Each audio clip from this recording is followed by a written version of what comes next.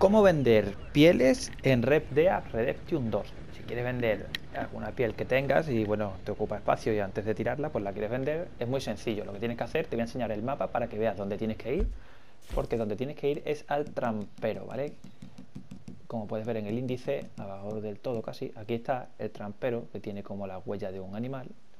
Eh, bueno, pues lo marcas y los que tengas en el mapa, pues te acercas al que tenga más cerca, bueno, al que tú quieras. Una vez que te acerques al trampero yo ya estoy cerca para que el vídeo este no se te haga muy largo. Como puedes ver es este de aquí. Y ahora simplemente te acercas a él, le damos al L2 y le damos a vender.